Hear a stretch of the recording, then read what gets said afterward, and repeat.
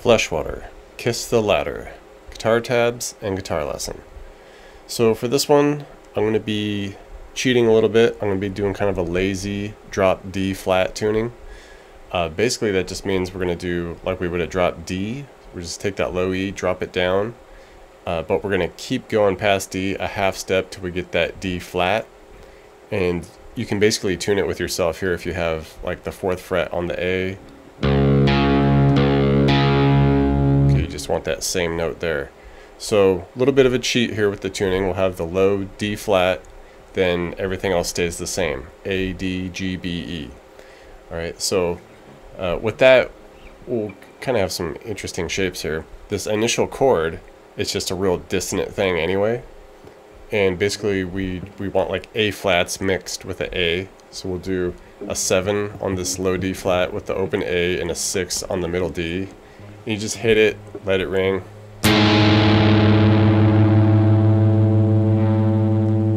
Alright, and then we get into like the main progression, which initially will be like a E major 7 variation here, where we'll have like a 3 on that low D flat, a 2 on the A, and a 1 on the middle D here. And it's just strum, bop, bop, bop, bop. And that's kind of how we're going to strum each chord will come off to an open low D flat 5 power chord now. So just leave the open D flat low there and then a 4A 6 on the middle D. Same type of strum. Okay, now we want an A flat suspended second so we can just kind of keep our power chord on the A and D there. Slide it up to the 6 and 8 and then we add a 7 on the low D flat here same strum. Take that same shape and we go down to the E again, but here we want the E suspended second. So we, it's that same exact shape we had there, but we're down at the 3 on the low D flat, 2 on the A, 4 on the middle D, and the same strum again.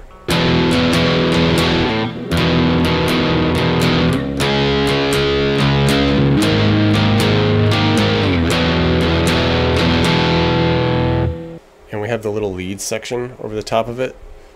Uh, down here on the high E, we go 6, 9, 6, 7. And we just kind of hold that for a moment. Do the same thing again, but when we hit that 7, we pull it back off to the 6. And basically we just alternate between those two different patterns.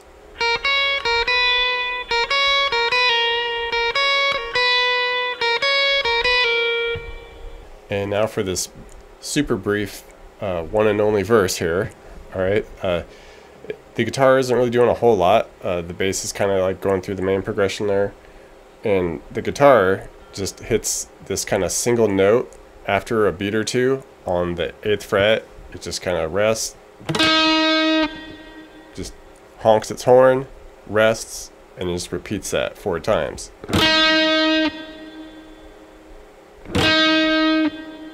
And this uh, next section here, uh, it's the same progression, but uh, we'll just have single strums.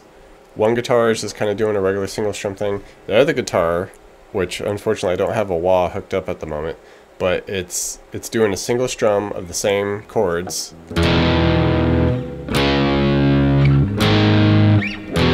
But it has the wah going, and it's just kind of hitting the wah up and down right on beat, just back and forth.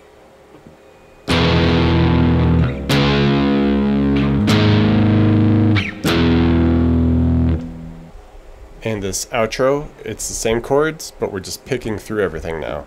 We'll do something a little different here for the open low D flat. Uh, we'll start with that same E major style here, the three, two, one, And we basically pick the 3 on the low D, 2A, 3 low D flat, 1 on the middle D, 3 low D flat, 1 middle D, 2A. So it's that same picking style, and we're going to use it for you know most of the chords here. So.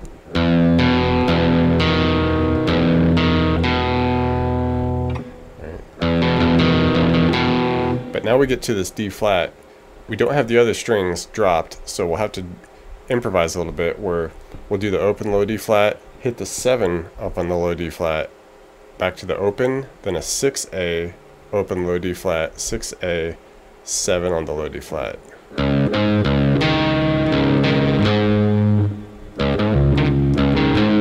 Right, and now we take our sus2 shapes, the A flat here with that 7, 6, 8, pick through it just as we did down here with the E major. Okay, 7, 6, 7, 8, 7, 8, 6. That same exact shape and picking, drop it down to the 3, 2, and 4. And just crank that out a couple times.